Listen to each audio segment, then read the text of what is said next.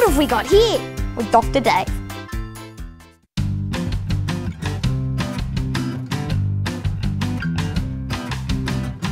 What have we got here?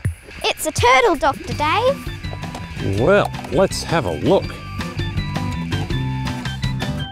Have a look at this guy. So this is a Murray River turtle.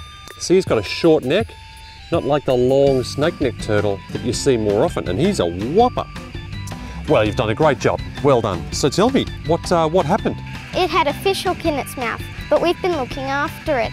So now it's time to let it free back into the river.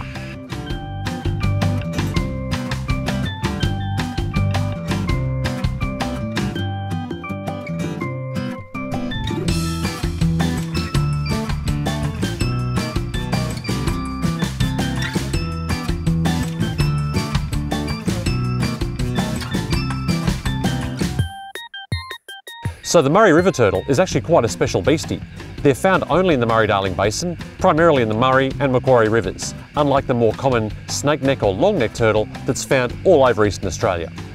Now one study has found that more than 90% of the eggs get gobbled up by foxes before they even have a chance to hatch. So what these girls have done here makes a real difference. So you can see here, he's got quite a short neck compared to the long neck turtle. That's as long as it is, that's fully sticking out.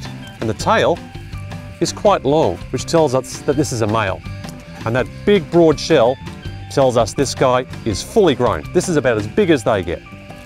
He's pretty keen to get back in the water, so I think it's time to release him, girls. Now this is a really important thing you've done. We've picked a good spot here, full of yabbies and snails, just the sort of thing that this guy likes to eat.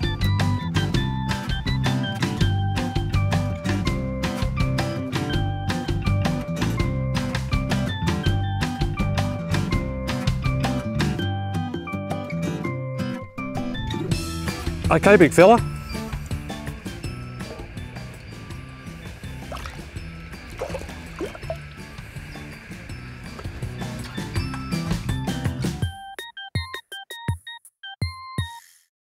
What have we got here? With Dr. Dave.